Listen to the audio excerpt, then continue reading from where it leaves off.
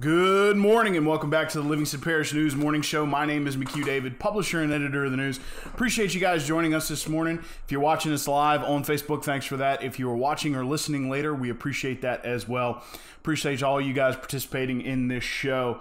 Uh, please remember that we are in the middle of a stay-at-home order. We'll talk about that a little more in a second, but of course, I, as you can see, I am at home.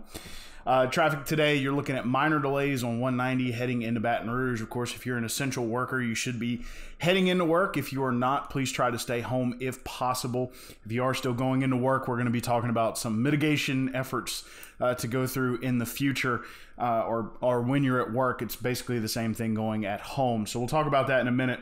Uh, but traffic relatively light today. Uh, some of that rain made it in some places, didn't make it in others. Uh, I know right now at my house it's bone dry. Uh, it was supposed to rain. It might still rain, still a small threat of rain this morning. Uh, but as this front comes through, you're looking at a temperature drop. It's going to get up to 78 degrees today, and then it, the bottom's going to drop out overnight. It's going to get down to 50. So we are going to have a little bit of a cool front coming here, uh, coming through here. Uh, kind of late, you know. Tomorrow is April, but it is going to get cold, and that is my hello dog. uh, so, getting into it, we're looking at 4,025 new cases of coronavirus in, in Louisiana statewide, 185 deaths. 34,000 total tests. And of those statistics, 1,158 are currently hospitalized, with 385 on ventilators. According to Governor John Bell Edwards, we're still not quite on track uh, on the trajectory that he would like. Uh, we had a little bit of a lull uh, on Sunday. The numbers that came out weren't too bad, and then we had a spike yesterday. So uh, he's expecting more tests uh, to come through today. So uh, right now, the expectation is another spike. Hoping not, of course. Uh, but we, we may see another spike in the numbers here uh, Tuesday. Now, part of the problem is, of course, we've talked a lot about being on trajectory with Italy. Uh, these this spike on Monday has pushed us back into that realm. We had fallen behind uh, on Sunday, but now we are back right right up there with them. again, we've talked about this a lot. It has a lot to do with critical healthcare infrastructure.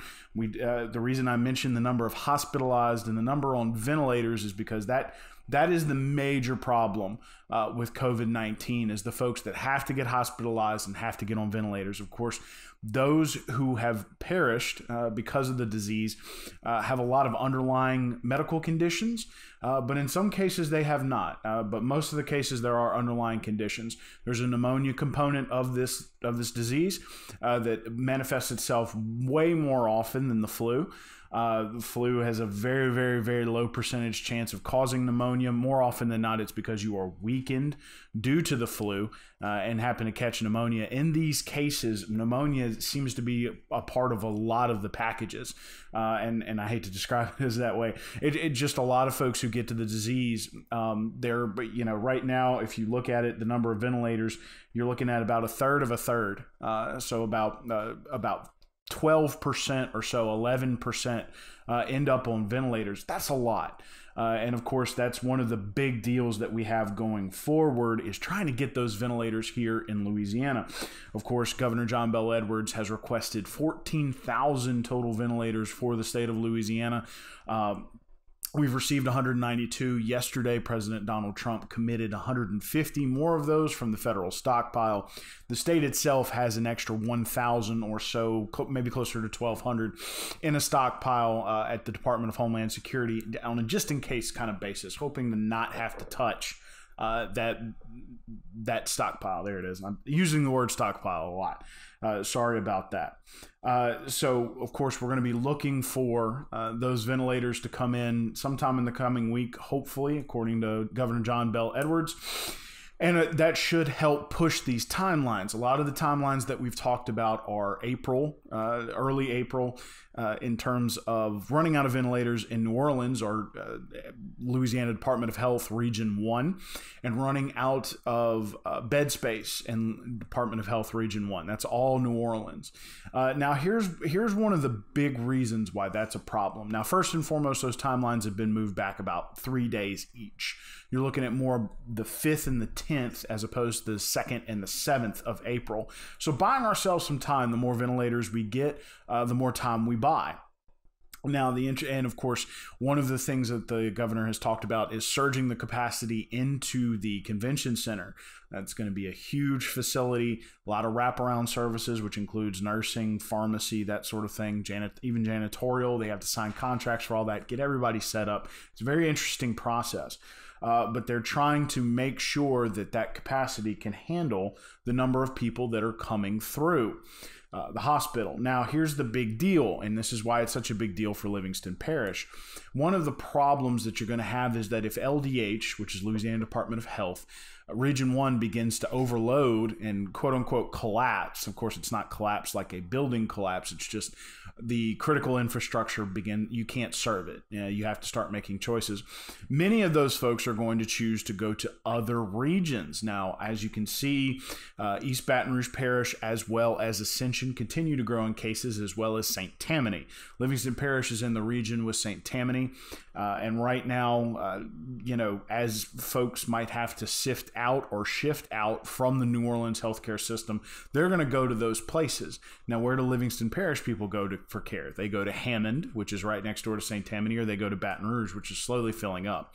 So you really need to be rooting for New Orleans to, to be able to keep this under control, keep those timelines extended so that there is no collapse or that there is no issue with providing critical health care infrastructure uh, so that these folks can get the care that they need and don't end up coming somewhere else and taking beds that might otherwise go to people even in those home parishes that might you know ascension still needs beds east baton rouge is going to need beds hammond all those places will need beds. So please be be rooting for these places to stay on top of the of this you know virus disaster as we as we move forward uh, of course one of the things that hit home for a lot of people here in livingston parish was ward 2 marshal joe mack shoemate ended up in the hospital.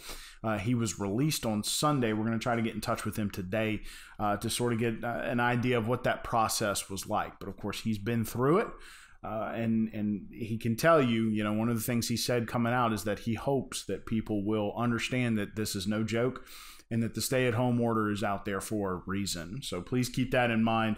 And of course, that's uh, you know a, a, local person who has uh, who's very visible who has gotten it. So this virus knows no bounds. Talking about Livingston Parish, we're up to 16 cases here confirmed. That's people from here who have been tested. In a lot of cases, they were tested somewhere else. 128 tests is about all that's been done here. Parish President Layton Ricks said that he expects a testing site for Livingston Parish to come online soon. Now, exactly what date that is, he's not entirely sure, but we're going to be looking for that site to come on board so that people can go get tested, especially if they're feeling symptomatic but they can't make it to Baton Rouge or Hammond. Uh, to get tested. Not entirely sure where that facility is going to be either at this point. However, he did say it is a conversation with a private a private facility. So we'll see it perhaps centrally located, but no assumptions at this point. All we know is that at some point, hopefully in the next week or two, according to Parish President Layton Ricks, the um, Livingston Parish will get a testing site uh, for COVID nineteen. So keep your eyes uh, on our on our website www.livingstonparishnews.com backslash coronavirus. It is free uh, to be on the lookout to see when that uh, excuse me when that testing site will come online. Uh, we're talking about the 2.2 trillion dollar uh, stimulus. It's it's hard to wrap your mind around. There's a lot going on here. One of the things that we talked about with Congressman Garret Graves uh, is that you're going to be signing up for that check uh, for yourself and for your children, if you have any, uh, at irs.gov. You also need to go ahead and do your 2019 tax return. According to Congressman Graves, uh, they're going to be looking at your most recent return, in most cases, your 2019 return, but you're still going to have to go sign up for that check. As far as small business, you're going to have two choices here. You're going to have a choice to either take a loan that's forgivable based on certain expenses, or you can take a deferment on your payroll taxes up through the end of the year. You're still going to have to pay those payroll taxes, but you won't have to pay them either. And you can spread out the payments over 2021 and 2022 if you so choose. There also uh, is the economic injury disaster loan that's out there that's from the SBA. That is not forgivable and it may trigger some duplication of benefits issues However, one of the things that Congressman Garret Graves recommended is those 7A loans that we discussed uh, that were not the payroll defer- deferment, but the other. They're called a SBA 7A. Uh, they are for payroll, utilities, uh, and mortgage or rent. So if as long as you if you took that economic injury disaster loan, as long as you spend it on something that isn't in those three categories, again, payroll, excuse me, payroll, uh, utilities, there it is, and mortgage or insurance, uh, you should be okay. Just don't don't mix the two. Uh, and of course, it takes a little bit of accounting, but I trust that you can do it. Uh, there's also a lot of other um, things baked into that, especially for larger businesses and that sort of thing. Uh, but those are the things for small business and individuals that you need to kind of be on the lookout for. Again, you need to go ahead and do your 2019 tax return and sign up for the check at irs.gov. And those SBA loans, those are the various uh, those are the various types that you can acquire uh, to try to get yourself through the next couple of months. Now, the reason we're going to have to do that is this: according to uh, President Donald Trump, not according to, he has extended his social distancing mandate through April 30th. Uh, the governor said that he expects to follow suit with his stay at home order uh, through April 30th. That means essential workers only. That means a lot of businesses are going to remain closed for another two weeks, uh, which means we're all going to be still be at home for at least another month until about May 1st. The president said he expects big things on June 1st, so we don't even know if April 30th is really when this is going to end. We're not going to speculate on that. He just said that June 1st is when he expects big things from the country. So we're going to be looking for this money to come through over the next four weeks, trying to get people through this time, get into May, uh, try to get things back open. With those mandates, we talked to Superintendent Joe Murphy. Uh, according according to the superintendent, they will be participating and and uh, compliant with whatever mandate comes out of the governor's office and whatever guidance comes out of the Department of Education. Uh, no no commitment or statement yet as to how that will affect school, other than they will be closed uh, another week. Please remember that they were not coming back until April 20th. They were going to recognize spring break. At this point, it would not be coming back until roughly May.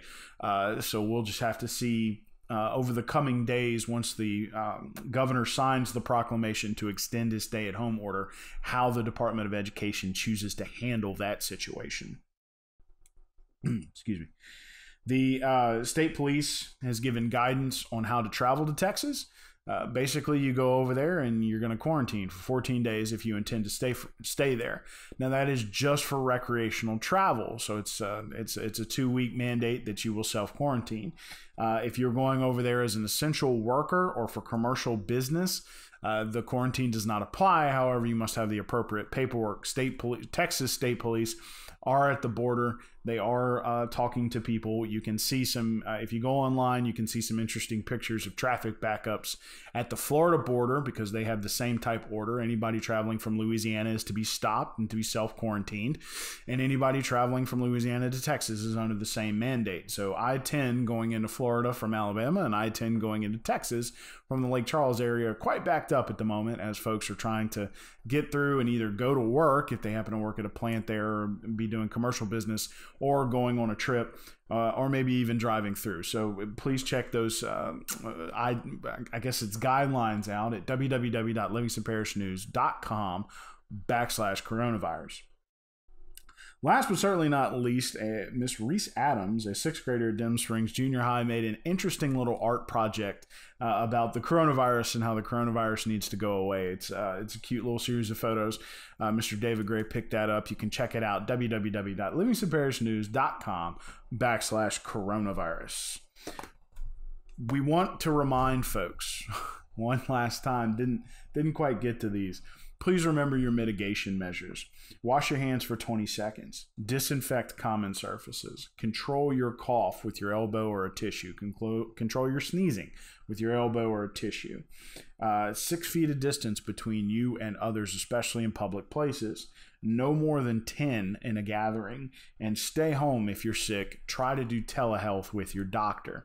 Now, that applies to the stay at home order. Of course, you can still go to the grocery store, the pharmacy, uh, or to see your doctor if it is indeed serious. Uh, now, if you have to go into work, following those mitigation methods is a very, very, very good idea. Uh, please remember that the the growth pattern of this thing is exponential, which means that one infects three, those three infect nine, those nine infect twenty seven, that kind of deal. Uh, but that goes the other way too. It, two, one person of that 27 uh, could touch uh, very quickly uh, one of the people that you work with, and they could be bringing the coronavirus right into your office. So it's good to do wa- continue to wash your hands for 20 seconds once every, I believe it's 50 minutes and disinfect common surfaces at the office if you still have to go into work, especially if you're an essential worker. Most essential um, operations have already begun practicing these social distancing methods. But please remember the mitigation efforts.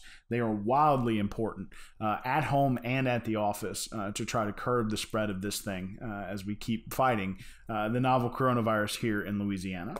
One last time, my name is McHugh David, publisher and editor of the news. Appreciate you guys joining us this morning for the Livingston Parish News Morning Show. We are on Facebook, Twitter, LinkedIn, Instagram, and YouTube. We are once a week in print on Thursdays. We are also online at www.livingstonparishnews.com. Uh, we have an app to go with that. Excuse me. And uh, please remember that we also are, uh, please remember the Facebook algorithm, folks. I mean, I don't know how many people uh, are are going to be um, looking for breaking news and stuff like that on Facebook. But please remember, sometimes it's not going to be delivered to you timely. Uh, a lot of times you're going to get it hours later, just depending on where we stack in your algorithm for that particular day for your uh, potential choices and that kind of thing. Um, so please, please, please try to go to that website, www.livingstonparishnews.com backslash coronavirus. We hope you have a great day and we will check you out tomorrow.